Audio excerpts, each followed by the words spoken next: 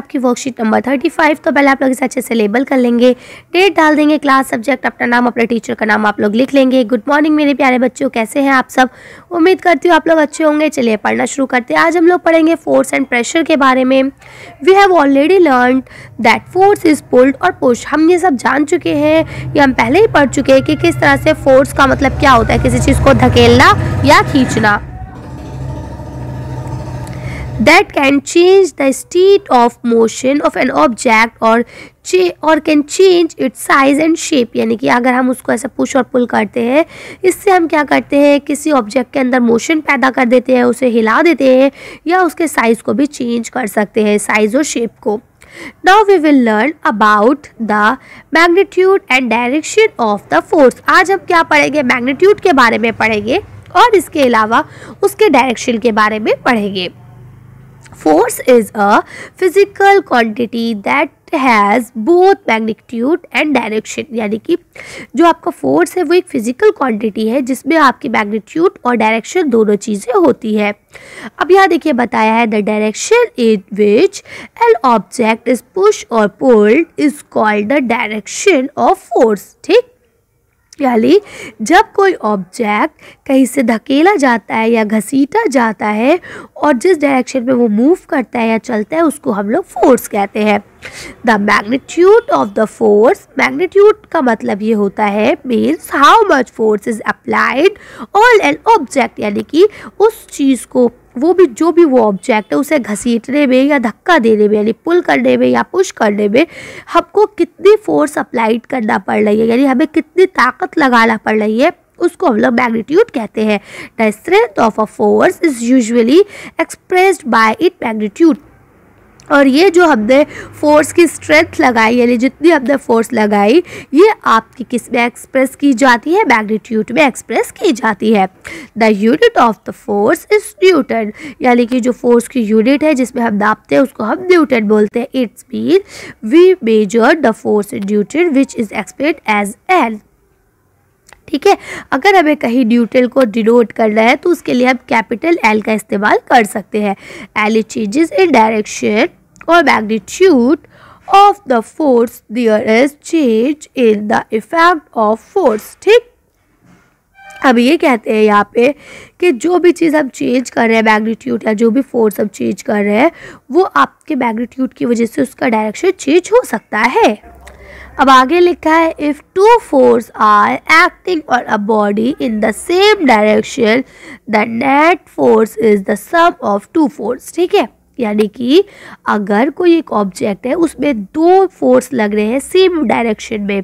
तो इसका मतलब है कि वो जो फोर्स है, वो डबल हो जाएगा, यानी प्लस कर लिया जाएगा।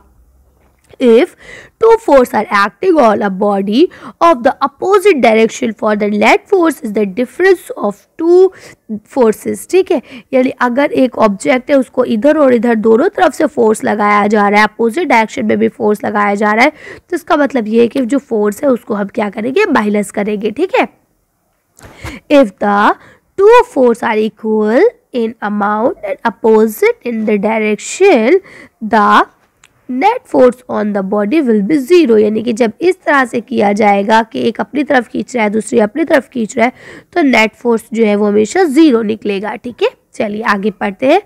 अब यहाँ आपको लिखा है नाउ चेक योर सेल्फ अपने आप को जांचे फिल इन द ब्लैंक्स अब आपको फिल इन द ब्लैंक्स बताने हैं।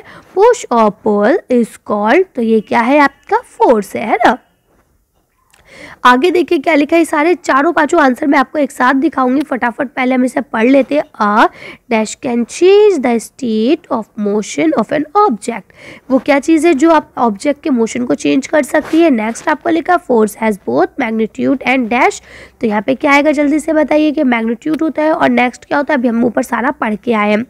आंसर मैं आपको एक साथ दिखाऊँगी। The strength of force is usually express by it तो अगर हमें फोर्स जो होता है फोर्स को हम किसमें यूजली एक्सप्रेस करते हैं तो आप बता देंगे न्यूटन में the unit of the force is क्या होता है? एन ठीक है? चलिए इसका आंसर देख लेते हैं जल्दी जल्दी। अब देखिए, अब आप इसका आंसर यहाँ से लिख सकते हैं कि पहले में आपका आ जाएगा direction of the force second में फोर्स थर्ड में डायरेक्शन चौथे में आपका न्यूटन और पाँचवें में भी आपका न्यूटन, ठीक है? कर लेंगे, चलिए अगला क्वेश्चन पढ़ते हैं। अब यहाँ आपका नेक्स्ट क्वेश्चन लिखा है if two force of L or 5n and 3n are acting on the body same direction. ठीक है? The resultant force will be तो क्या हो जाएगा? हमने अभी पढ़ा कि वो प्लस हो जाएगा। जब सेम डायरेक्शन में लगेगा तो प्लस हो जाएगा, यानी इसका आंसर हो जाएगा एट एन ठीक? चलिए देखते हैं कि हमें करना कैसे है। तो देखिए, आप इसको ऐसे कर सकते हैं कि the resultant of force is F ठीक है? कैसे? एफ़ वन ये एफ़ टू तो यानी एफ़ वन कितना था? फाइव एन था और एफ़ टू कितना था? थ्री एन था, ठीक है? तो इनको हमने प्लस कर लिया तो हमारा कितना निकला? फोर्स आपका एट एन, ठीक है? इस तरह से हमें इसे करना है। चलिए अगला क्वेश्चन पढ़ते हैं। अब यहाँ आपका लास्ट क्वेश्चन लिखा है if two force of 5L and 3L are acting on a body in opposite direction and the resultant force will be, अगर ये अपोजिट डायरेक्शन में होगा तो इसका क्या निकलने वाला है? तो हमें पता है माइनस करना होगा। तो इसका आंसर क्या आएगा? टू एन चलिए, लेकिन इसका आंसर देखते हैं कि ऐसा क्यों आया। तो आप यहाँ से लिखेंगे कि इसका आंसर हो जाएगा two and force can be positive and negative it will show their direction ठीक है? कि फोर्स जो है वो नेगेटिव और पॉजिटिव दोनों तरह का हो सकता है। क्यों? क्योंकि वो उसके डायरेक्शन को शो कर रहा है।